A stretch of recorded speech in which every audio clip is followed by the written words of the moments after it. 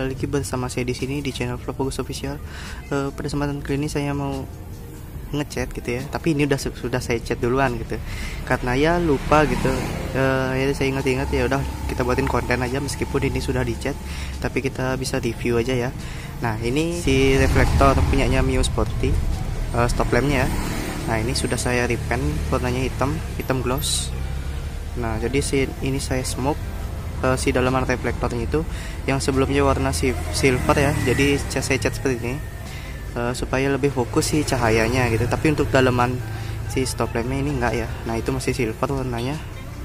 Jadi saya nggak repaint bagian dalamnya supaya lampunya ini eh, nggak uh, begitu gelap banget kalau untuk si remnya jadi ini kan saya pakai sen dajal uh, apa namanya itu ya? Sen kanan dan sen kirinya saya pakai sen dajal jadi ya agak terang ke belakang jadi ya mengganggu pengguna pengendara yang di belakang gitu ya. Kasihan jadi saya pakai uh, cat seperti ini aja lah gitu. Supaya ya agak redup-redup dikit gitu. Biar nggak begitu kelihatan juga. Dan saya giniin giniin aja ya. Dan ini sudah hitam pekat banget. Dan ini masih mentah ya catnya. Baru saja saya cat. Dan ini cat saya pakai cat merek ini. Belok basic. Ini harganya murah ya cuma 30 ribuan. Di toko material juga ada. Nah itu ini masih isi ya masih berat sebelum saya pakai ngecat bottom shock depan sama si uh, knalpot gitu ya. Nah jadi ini masih sisa banyak banget. Dan ini udah mau kering teman-teman. Nah ini ya. Nah itu. Nah itu ya. Udah mulai kering lah dikit gitu.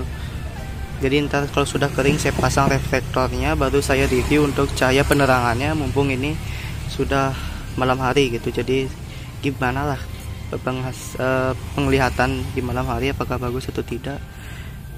Langsung kita lihat setelah semuanya sudah terpasang kembali. Oke sip. Ya oke teman-teman. Jadi setelah beberapa menit saya menunggu dan sekarang saya ngecat si mika merahnya ini ya di dalamnya. Dan bisa kalian lihat ini agak gelap ya. Nah itu. Nah ini smoke. Wait, uh, untuk standnya juga smoke ya. Jadi mantap lah Oke dan ini sudah saya pasang dan tinggal baut saja. Dan setelah sudah terpasang semuanya ke bodi-bodi motornya baru kita review gimana hasil pencahayaannya apakah terang atau gimana. Oke langsung aja kita pasang. Oke sip.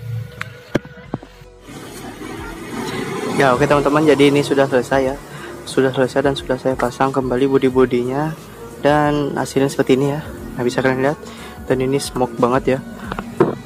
Nah itu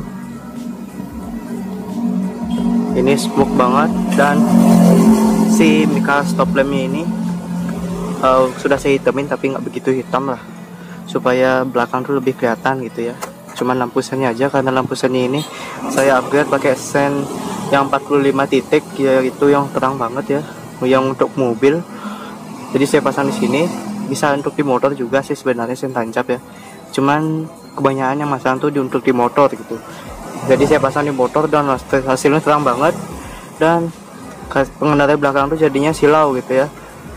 Nah jadi berhubung saya maunya looknya lebih bagus juga lebih bagus juga jadi ya ini saya hitamin aja lah supaya nyatu dengan warna bodi motor. Oke ketimbang saya skotlet mendingan saya giniin aja. Kalau kelihatan dari dalam tuh lebih uh, keren lah kelihatannya ya. Oke tanpa banyak basa-basi langsung kita uh, hidupin motornya gimana apakah terang atau tidak. Nah ini udah nyala. Ini kita lihat lampu standby nya dan ini untuk lampu rem karena saya rem tangan ya. Nah ini. Nah itu. Untuk penerangan sih nggak masalah lah. Masih tetap kelihatan terang. Dan untuk untuk sen kita sen kiri. Nah itu di depan udah terang banget ya. Di belakang Nah ini di belakang masih tetap kelihatan terang teman-teman. Padahal ini sudah saya smoke si sennya, si reflektornya, tapi tetap masih terang ya.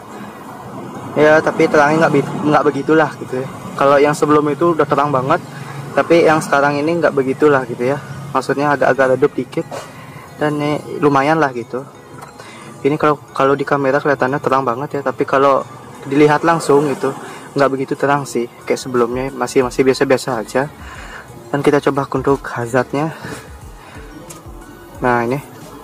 Di depan terang seperti itu. Pencahayaannya untuk di belakang. Nah seperti ini. Mantap lah ya. Itu terang banget.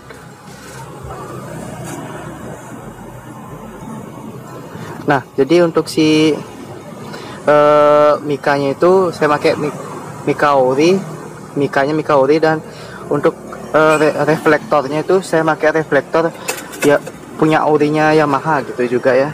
Punya ori bawaan Mio nya jadi saya nekat aja saya repaint. Saya penasaran juga gimana hasilnya apakah terang atau tidak. Ya misalkan kalau gagal ya saya beli lagi lah gitu ya. Ya berhubung ini hasilnya mantap jadi ya saya pakai gitu. Uh, untuk pencahayaan sudah kan lihat tadi pencahayaannya lumayan bagus terang. Uh, tapi kalau untuk bohlam saya kurang tahu ya apakah bohlam itu masih kelihatan atau tidak. Uh, yang pasti ya masih kelihatan lah mungkin gitu. Bagi kalian yang mau yang penasaran gimana penerangan bohlam nanti saya akan buatkan videonya ya. Videonya yang pakai bohlam gitu. Dan ini saya pakai LED aja karena ya lebih terang aja gitu. Oke teman-teman mungkin cukup sekian nih video dari saya semoga video ini bisa bermanfaat. Jika kalian mau request request video selanjutnya silahkan langsung aja request di kolom komentar. Oke sampai jumpa di video-video kalian selanjutnya. Oke sip